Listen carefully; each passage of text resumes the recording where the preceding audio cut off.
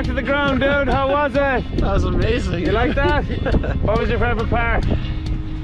Ah, the spinning. Yeah? While we were doing the free fall. Awesome stuff, man. Thanks for jumping with us at Go Jump Oceanside. You did fantastic. See you next time.